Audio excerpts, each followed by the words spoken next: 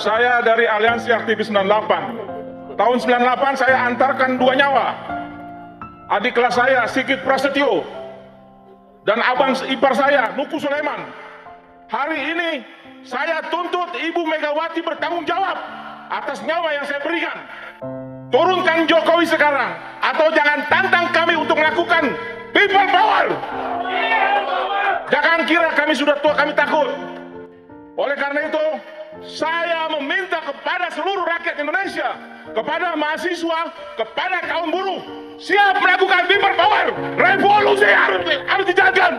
Saya meminta Pak Jokowi mundur atau gantung di Monas. Selesai Bapak. Saya juga aktivis 98 bos. Saya 95, saat 98 saya semester 6. Total pergerakan 10 hari dari seluruh elemen mahasiswa 18.000 bergerak di pusat Jakarta. Ya. Dari mulai hari pertama sampai tragedi Semanggi, tragedi Trisakti, lalu berhasil menguasai gedung DPR, masuk ke dalam, kami bermalam tiga hari di situ. Itu semangat 98. Lalu apa dosa Ibu Mega dengan 98? Nggak ada bos. Terus kamu teriak turunkan Jokowi. Apa Pak Jokowi mencoreng semangat reformasi? Beliau taat dengan konstitusi. Dan sorry, kamu berada di barisan Amin Rais. Kami dari gerakan awal tidak kenal dengan Amin Rais bos. Ya, jangan coreng semangat 98. Kami murni dari hati. Merdeka.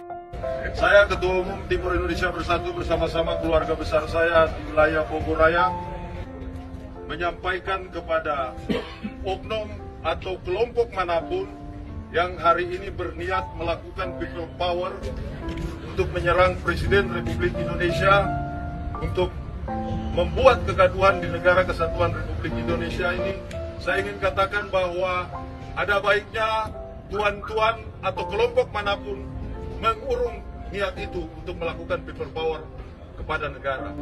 Jika kalian ingin melakukan hal itu, maka Timur Indonesia Bersatu akan menjadi garda terdepan untuk membela, menjaga negara kesatuan dari segala tindakan kekerasan dan niat jahat untuk merusak persatuan dan kesatuan. Saya Ketua Umum Timur Indonesia Bersatu menyampaikan hal ini dengan tegas bahwa kami akan selalu berada di depan dan bersinergi dengan TNI Polri dan mendukung pemerintah negara kesatuan Republik Indonesia. Karena kata orang satu dan jangan pernah mengadu domba antara siapa pun. Amin. Panjenengan sudah sepuh ya. Sudah bau tanah istilah anak muda sekarang ini. Ayo, kalau gajah mati itu meninggalkan gading. Manusia mati meninggalkan nama yang baik. Ya. Jangan karena panjenengan bikin partai baru mungkin, ya. Terus kepingin rating partainya ini naik ataupun dikenal orang ngumpulin bersama teman-temannya, bikin acara yang sangat provokatif sekali. Mau memajukan Presiden Jokowi. Hah? Apa nggak tahu Presiden Jokowi hingga detik ini dalam lembaga-lembaga survei yang ada terendah Presiden Jokowi itu kepuasan masyarakat Indonesia 70% dan yang tertinggi adalah 82 persen.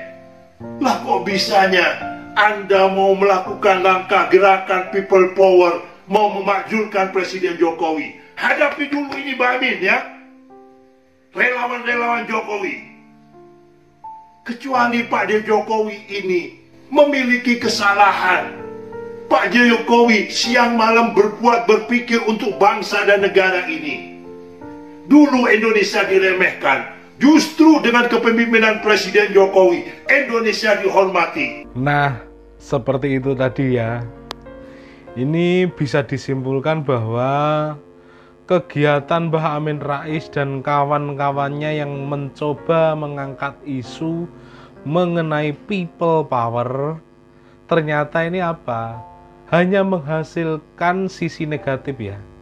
Salah satunya adalah melahirkan orang dengan karakter yang mulutnya itu bengis.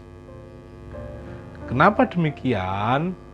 Meskipun itu terlontar dari kata-kata, tapi kan kata-kata tersebut bisa merasuki alam bawah sadar seseorang. Jadi nggak salah lah ketika ada sebuah pepatah mulutmu harimaumu. Catat itu ya. Nah, jadi begini ceritanya ya. Ada seseorang yang ikut hadir dalam acara yang dipaksa diberi nama people power ya. Salah seorang tersebut mengeluarkan kata-kata yang sangat kasar sekali dan yang paling parah adalah sampai mengeluarkan ancaman gantung Jokowi di Monas. Luar biasa ya orang ini. Mulutnya itu tidak ada tata kramanya sama sekali ya. Terus saya heran, pasti nih ya. Pasti kalau sudah viral tentunya orang ini akan meminta maaf. Saya sudah tebak seperti itu. Minta maaf, mewek, nangis-nangis sambil mengeluarkan matre untuk damai. Dan apakah lagi misal orang ini akan diproses hukum karena telah menghina seorang presiden ya. Apakah Mbak Amin Rais dan konco-konconya itu akan membela orang tersebut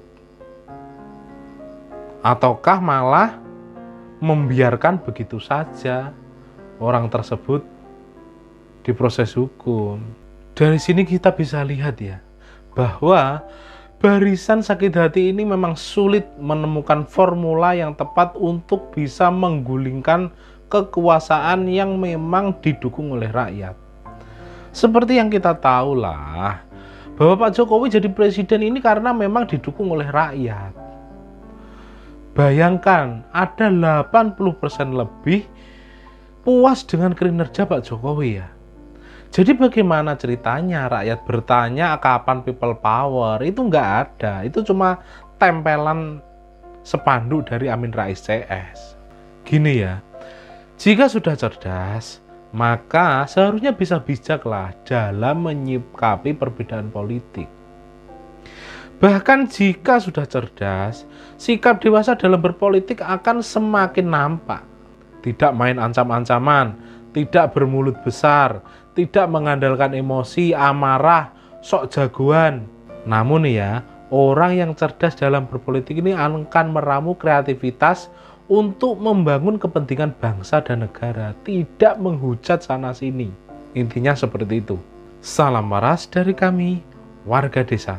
Wassalamualaikum warahmatullahi wabarakatuh.